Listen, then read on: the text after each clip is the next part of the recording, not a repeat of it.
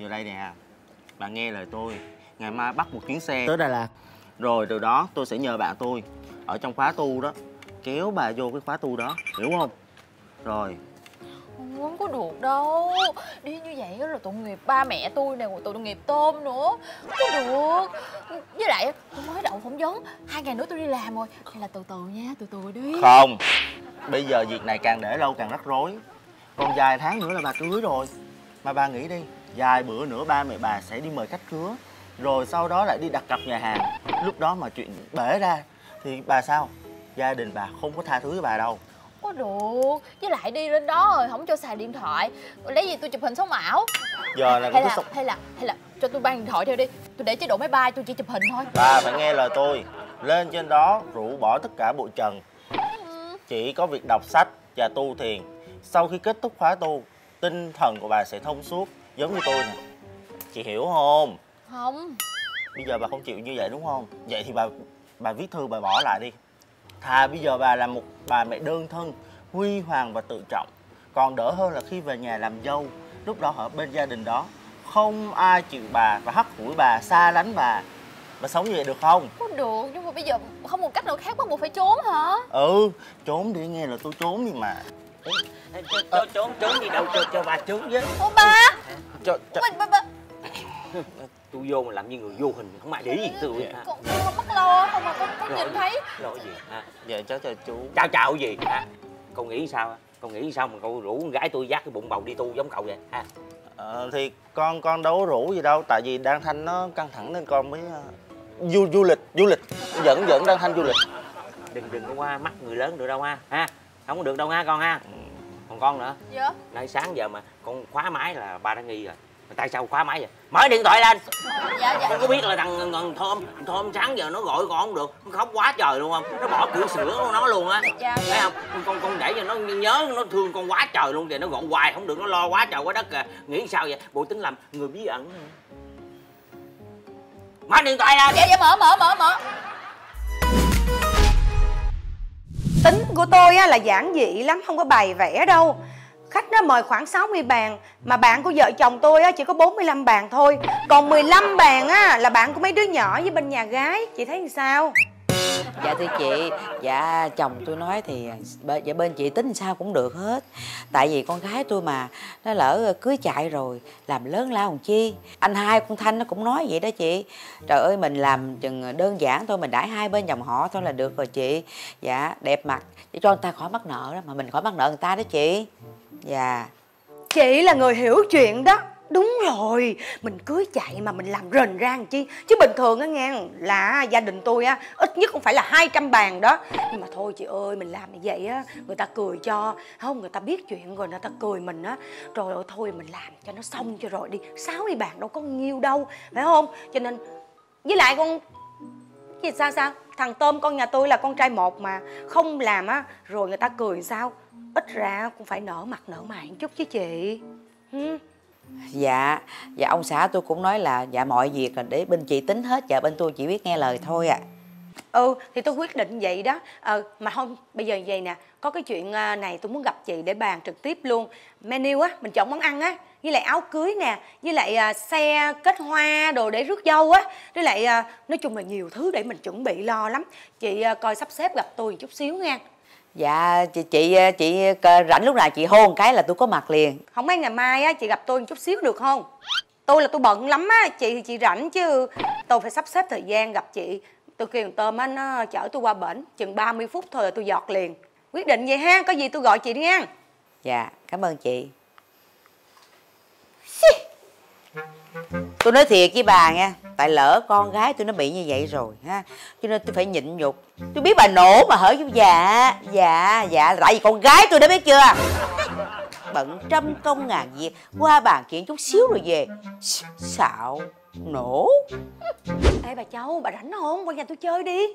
Đổ bánh xèo ăn. Trời ơi đang rảnh nè. Rảnh mới rủ chứ. Rủ bà hoài luôn. Thì ăn đi đổ khi nào mà ăn ngán thôi về còn thời gian làm gì hả? Rồi đi spa chứ làm gì? Bữa nay tôi rảnh lắm nha. Vậy nha.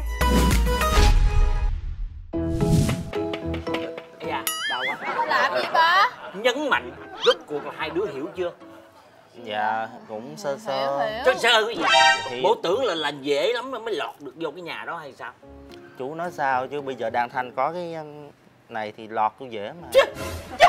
Trời đừng có lấy cái đó ra làm áp lực với người ta bao nhiêu đứa có bầu hả? Rốt cuộc vẫn bị bạn trai quất ngựa truy phong. Thậm chí là gia đình ruồng bỏ. Cuối cùng không sao phải phải đẻ rước hiểu không? Nó phải chuyện đơn giản vậy. Nhưng mà tại sao? Đằng này nó tại sao nó được vô một cái nhà tử tế như vậy? Vì sao? Vì ba của thằng thơm là bạn thân của tôi. À mà mà ba của thằng thơm xem con thanh cũng giống như là con ruột của mình vậy đó. Ha? Rồi đồng thời là thằng thơm với lại bà nội của nó còn yêu quý con thanh nữa. Yêu quý đến nỗi mà không biết để đâu đó thay vì mình nói để trên đầu hơi quá hiểu không? Đó cũng nhờ vậy nó mới có được một hoàn cảnh tử tế vậy. Chứ đối với một đứa con gái mà vô tâm hời hợt như thanh đâu phải dễ mà được vậy. Trời ơi ba ơi nhưng mà chưa cưới. Ừ. Ba phải hiểu vấn đề là chưa cưới. Cho nên bây giờ người ta nói vậy tới thương vậy thôi. À. Ba muốn cưới về nhà đi Rồi ha lúc đó ha khủng bố nha. Còn chuyện vợ lỡ hết rồi bây giờ con sao? Đúng Ủa? rồi đúng đúng đúng đúng. Chị nói. biết gì đúng? Nếu mà khủng bố sao mà áo giáp vô. Không phải Nếu mà khủng bố con chịu không nổi Là gọi điện cho ba. Ba sẽ qua ba, ba rước rước con về dinh Hiểu không? Ta nói vậy chứ ba với bác Long là bạn thân với nhau mà. Không có bạn bè gì hết trơn Ở trên đời này không có ai mà quan trọng bằng con gái rượu của ba hết. Hiểu chưa? Ba ba hứa Ba nói ba hứa là ba phải giữ lời nha. Thề luôn sao? Suy nghĩ kỹ đi. Cậu cậu là bạn của con thanh tôi không có nó mà mà cấm cậu là không được chơi với bé thanh. Nhưng mà cậu là bạn thân đó mà. Hiểu không? Thì thấy bạn vậy phải giúp đỡ chứ phải nói những lời hay ý đẹp để ủng hộ cho cái, cái, cái cho bạn thân. Tại sao mình cái, cái bàn ra không hoài vậy hả? Kha! Dạ, thị thanh nó cũng là bạn thân con thì con mới ờ, ờ, sợ nó khổ. Nên con mới lấn khỏi cấn khỏi khỏi cái chuyện đó là chuyện của tôi. Nó con gái tôi để tôi lo ha. Ba À. đi đâu hả con con con rể nó gọi để ba nói chuyện. Alo. Ờ ờ, con rể hả? Ba vợ nè. Ờ không có. Sáng giờ con thanh nó phụ bán quán. Ờ ra nó, nó sợ hết pin nó tắt điện thoại. Ừ. Ờ, không sao không sao. Ờ yên tâm. Trời ơi con yên tâm nó không có gì hết á. Ừ. Không tại tận nó vậy á. Ờ lúc này nó, nó nhảm vậy đó. Ờ, trời tại con biết chứ. Hồi đó nó xàm dữ lắm. Giờ giảm bớt rồi đó. Ba. Bà nói dữ lắm nó giảm bớt không sao con. Ừ rồi rồi. Rồi có gì à, ba ba, ba kêu con thanh nó liên lạc lại với con ha. Rồi bye con rể. Ờ bye. Ờ ờ, good good good good good morning. Good good afternoon. Ờ rồi bye con. Ừ. Ba. Trời đất nè trong danh bạ điện thoại sửa tên lại ha. Sao vậy? Nó là chồng con rồi chứ để cái tên tôm trong trọng vậy đó. Phải để sửa nó lại là chồng yêu hay là honey hay là baby hay là nó tên tôm hả? Để mèo mèo cưng đi. Trời.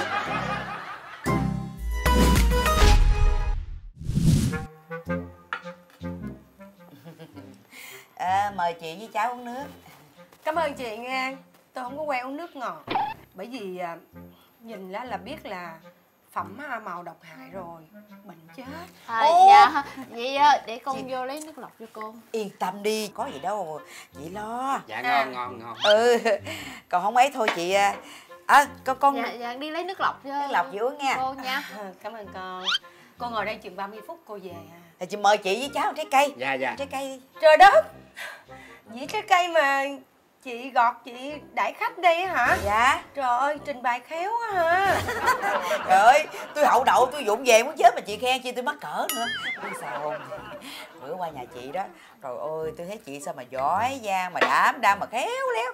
Tôi thấy tôi mắc cỡ á. Ồ xưa giờ nhà tôi vậy đó. Dạ. Những cái buổi cơm mà ăn bình thường á nghe Tôi cũng bài trí nó đẹp Thật là đẹp như nhà hàng sang trọng vậy đó. Dạ. Chứ đâu có để kiểu như vậy. Dạ. Mình à, ăn uống nó cũng phải có nghệ thuật một chút chứ chị. Dạ. dạ. Sẵn đây á hỏi luôn cái chuyện à, đám cưới tụi nhỏ đó. Dạ. Chị tính làm sao? Có tôi để tôi lo luôn cho. À, thì chị à, mở lời vậy thì tôi cũng xin nói với chị là à, gia đình tôi thì cái chuyện gì cũng ổn hết. Nhưng mà cái vụ mà đám cưới nè tôi có chuyện tôi lo dữ lắm Căng dữ vậy đó hả? Dạ căng lắm luôn đó chị. Chuyện gì đâu nói nghe thử coi. Có nghĩa là tôi à, không biết là đám cưới đó thì mình nên mặc áo đầm hay là hay là áo dài? Ờ, Chỉ có chuyện đó thôi mà căng thẳng dữ vậy đó à. Sao con dạ mẹ mấy chuyện này à, chọn lựa mẹ mặc một cái áo dài truyền thống thôi màu nhu nhu là được rồi. Con ơi con nói vậy sao được? Gì có một bộ hả? Không có được. Rồi con tính đi con tính đi nè. Đám hỏi bộ đúng không? Rồi rồi, rồi, rồi mình là à, gì đó? Gia tiền bộ. Rồi, rồi đám cưới con bộ là ít nhất cũng phải ba bộ. Trời ơi mình chụp hình mà có một một bộ người ta nói ờ, keo kiệt. Bộ nghèo lắm sẽ có một bộ hả? Được. Nói chung á là gia đình tôi thì à, biết rồi đó. Dạ. Ờ, hai vợ chồng tôi ai cũng tướng tá sang trọng hết chị tính gì cũng đúng. Quan trọng á là nhân dáng gương mặt thần thái. Dạ. nhưng mà trang phục nó cũng phải đi đôi với nhân dáng của con người. Dạ. đó cho nên là chị nhìn thấy đi chồng tôi là người có địa vị ở xã hội này cho nên làm sao phải xứng tầm ờ, hai bên với nhau mới được đó nghe xứng đôi vừa lứa. Dạ. Tôi thì tôi tính mai ba bộ đó rồi ý chị gì đó. À vậy hả? Tôi là năm bộ chứ sao ba? Năm. Chị năm bộ tôi hả? thấy năm còn ít nữa đó. Vậy đó hả? Đó hai đứa nghe không? Đó mẹ con là năm bộ Dạ. thì bên đây cũng phải đâu có thua kém cũng phải năm bộ